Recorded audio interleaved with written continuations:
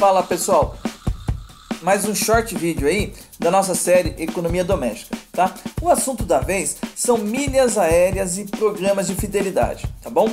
Hoje, pessoal, muitos brasileiros participam desses programas de fidelidades e eu acabei de ver uma reportagem onde muitas pessoas estão perdendo as suas milhas. Por quê? Porque geralmente se trocavam por passagem aérea e na pandemia não há tanta troca assim, não há tanta viagem, né? Então vale lembrar que a grande maioria também dá para trocar por produtos, pessoal. Não perca suas milhas, tá bom? Utilize bem aí as suas milhas e você vai ter sucesso aí. E é isso que nós queremos aí com esses shorts vídeos, tá bom? Esperamos vocês em nossas lives e também em outros shorts vídeos da nossa série. E você, tem milhas aéreas? Participa desses programas? Não perca suas milhas nem os seus pontos.